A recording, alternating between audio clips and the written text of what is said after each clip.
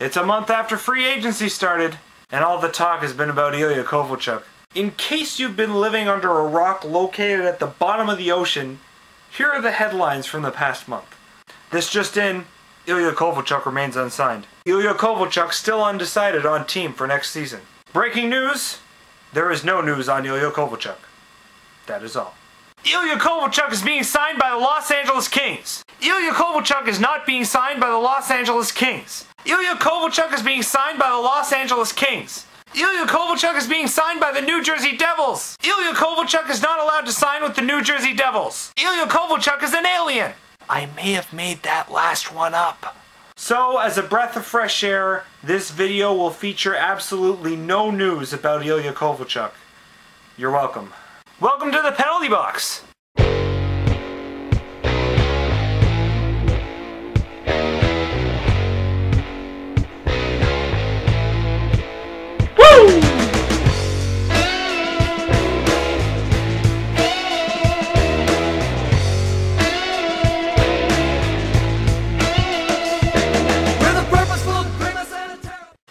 A month into free agency, let's take a look at where the Leafs are. For a time of year that most people call free agent frenzy, from the Leafs' perspective, it's been more of a free agent hibernation. First off, the Leafs make a splash just before free agency opened by making a five player deal with Chicago. The Leafs have sent rookie Viktor Stalberg and prospects Philippe Paradis and Chris DiDomenico to Chicago for prospect Bill Sweatt, I think I'm saying that right, and forward Kris Versteeg. Now, I am very happy about this. The Leafs have now landed the top six forward that everyone's been hoping for. Versteeg is 24, scored 44 points last season, 14 points in the playoffs, and can rap. Word. Don't believe me? Google the Stanley Cup celebration in Chicago. Now, some people don't like this trade, claiming that the Leafs gave up a bit too much in return, and I can kind of see where they're coming from.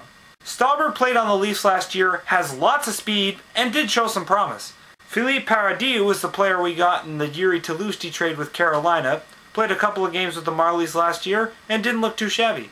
And DiDomenico is a very promising prospect coming out of the Drummondville Voltigeur. He really came onto the scene and turned heads after playing in the World Juniors in 2009, notching 7 points in 6 games and winning the gold medal with Canada. Then, after returning to the QMJHL, broke his leg and got knocked out for 10 months. He came back strong though at the end of the season, notching 22 points in 12 games. Now, this does seem like a lot to give up for Versteeg and Bill Sweatt at first blush, and it would have helped if Bill Sweatt hadn't refused to sign with Toronto, preferring to walk away and taking his chances with free agency. But let's look again at the players that we gave up. Stalberg is 24 years old, and in fact he's a few months older than Kris Versteeg. Yes, he showed promise and he's fast. But at 24, he really should be hitting his stride by now. Versteeg is 24 and put up 44 points last season while splitting time between the second and third line. Give him first line minutes and there's no telling what he could do. And Philippe Paradis, he's really of no consequence in my opinion. I don't really know much about this guy, he just made the Marlies at the end of this year. His numbers suggest he's pretty average for an AHLer, could possibly make the NHL someday, but maybe not. And DiDomenico. Here's where the outrage gains steam for most.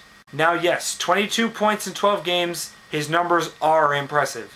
But keep in mind, he's an overager playing in the QMJHL at 21 years old against mostly teenagers. And this is also in a league where scoring is inflated compared to other junior leagues. He hasn't played a single game in the AHL yet. We don't know how he's going to handle the transition to playing adult pro hockey. Sometimes players just can't make the jump. Also, at the time of his drafting, scouts only pegged him as a third liner at best. True, we won't know how he'll do until we see him in the NHL, but it's really not something to go crazy over. In my opinion, the Leafs got a good return. Moving on, the Leafs make their only really big move in free agency, signing Colby Armstrong to a three-year, $9 million contract. And I'm liking this move too. I remember watching Armstrong in Pittsburgh a couple of years ago thinking he had one of the hardest hits in the league.